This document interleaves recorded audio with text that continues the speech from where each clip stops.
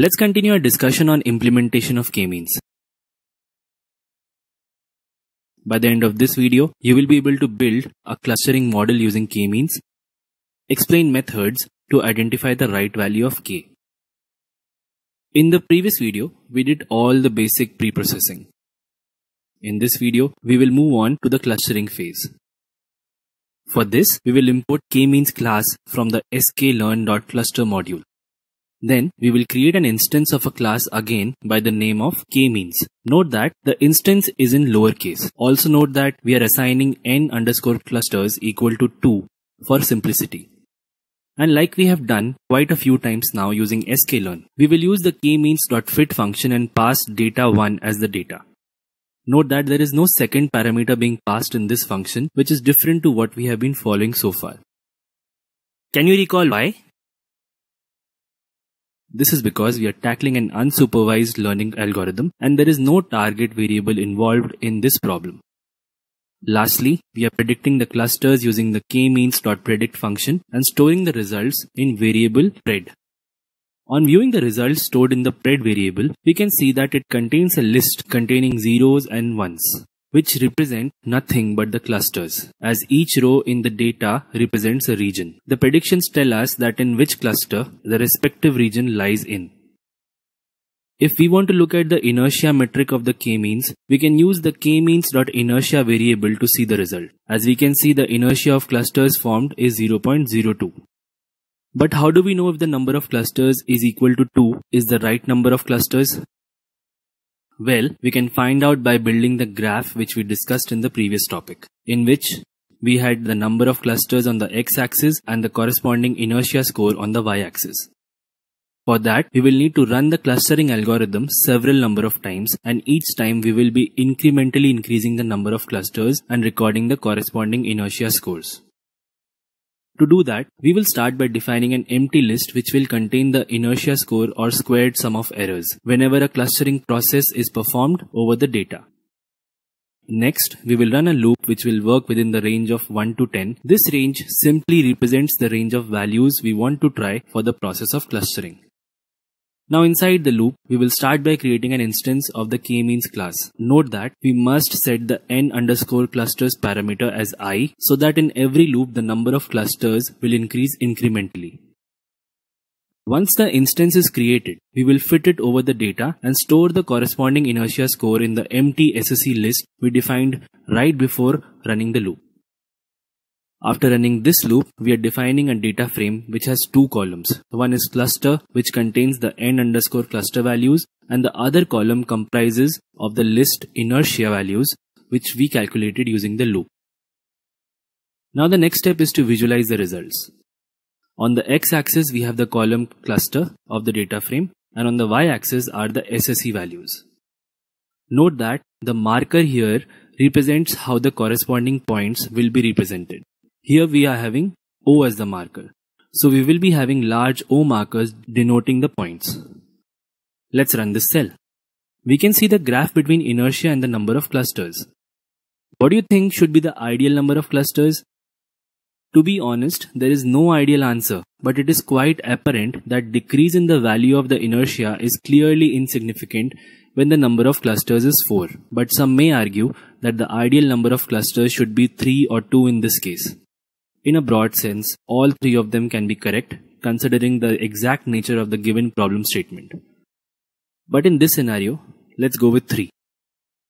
To visualize the three clusters, we will finally make the last clustering model consisting of the three clusters and fit it over the data. Lastly, we will generate predictions and then we will store these predictions as a new column in the data 1, which we have been using for the clustering purposes for a while now. Now to observe these clusters can be tricky as there are several features involved, but what we can do is plot two features against each other at a time. And this would involve a lot of repetitive code. We will take the help of functions. For this, we will first define a function seg, where seg stands for segregator. This function takes three parameters, str underscore x, str underscore y, and clusters. The parameters str underscore x and str underscore y represent the feature names from the data that we want to plot on the x and y axis respectively. clusters represent the number of clusters we have segregated the data into.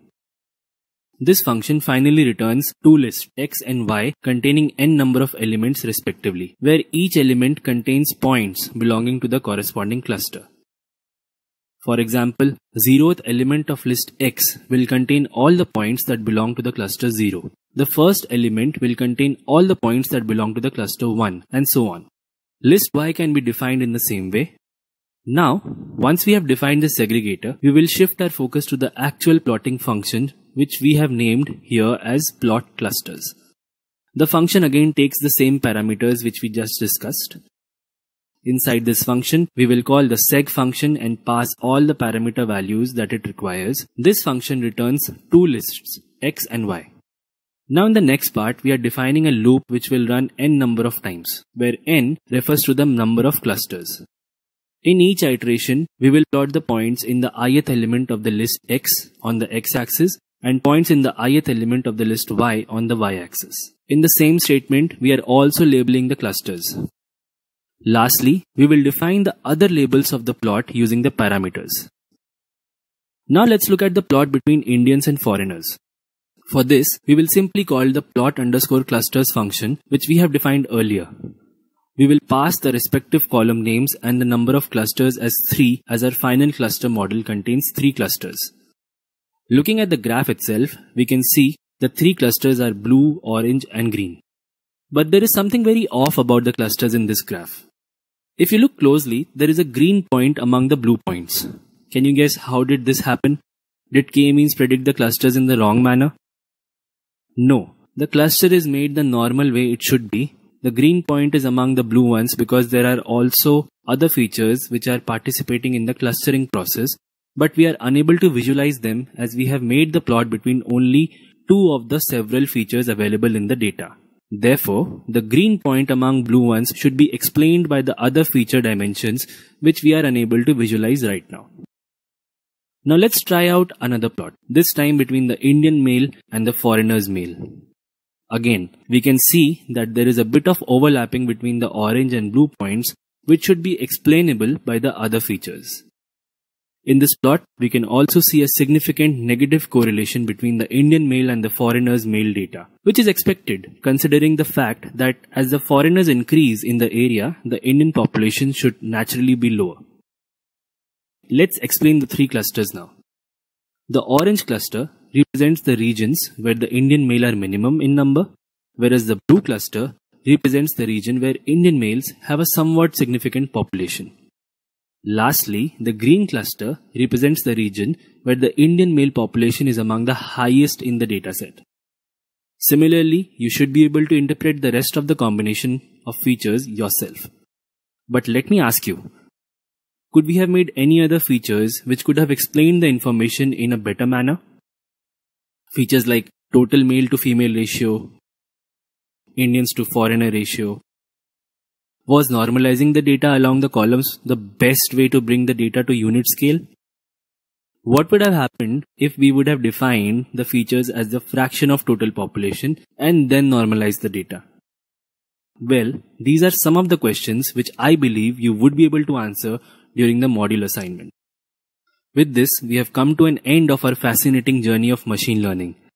Hope you had fun while learning and would be able to apply your practical knowledge to solve complex data problems. Next is the module test, which will be followed by the final test. Please make sure to revise all the topics at least once before taking these tests. All the best.